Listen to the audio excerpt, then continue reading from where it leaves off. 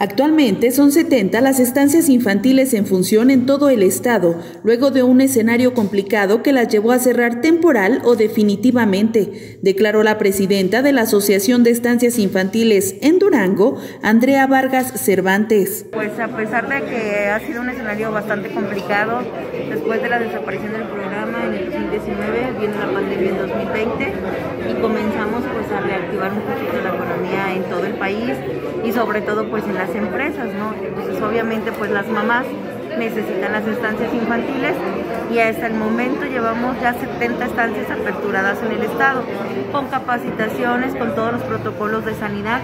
Eso sí, sin dinero, ¿verdad? Pero vamos trabajando poco a poco con la intención pues de que todo esto se vaya recuperando económicamente y que los niños pues estén en lugares seguros para que las mamás puedan seguir trabajando. Algunos este, tuvieron a bien conseguir algunos ingresos o préstamos este, en algunas financieras, en algunos bancos, con la intención de cumplir con todos los protocolos de sanidad, ya que el INS y Protección Civil nos capacitaron tanto en mecanismos de seguridad como en protocolos de sanidad y pues obviamente pues tenemos que contar pues con ciertos lineamientos que nos marca la ley, ¿no? Y sobre todo por seguridad y responsabilidad como siempre lo hemos manejado. Y entonces pues ahorita estamos en espera de que el señor gobernador, en compañía de la Secretaría del Bienestar, nos hagan una aportación que está pendiente desde inicios de año.